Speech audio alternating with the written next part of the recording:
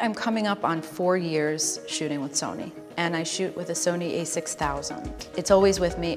I'm always able just to pull it out, snap whatever it is that I want. I had actually seen a picture that I loved on Instagram and I knew that the photographer had taken it with an a6000 and I just thought it was so beautiful. The clarity just spoke to me. As luck would have it, I actually happened to walk into a store that same week and I saw that it was around Christmas time. There was a Sony Alpha on sale, picked it up, tested it, and sure enough, an hour later I walked out with it. We had actually taken a day trip to Niagara Falls, and what better place to photograph.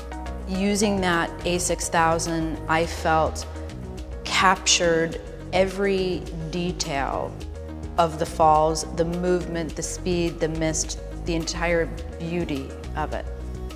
I had basically already resigned myself to getting rid of that DSLR the day before. it just sort of reiterated that I had made the right decision that day.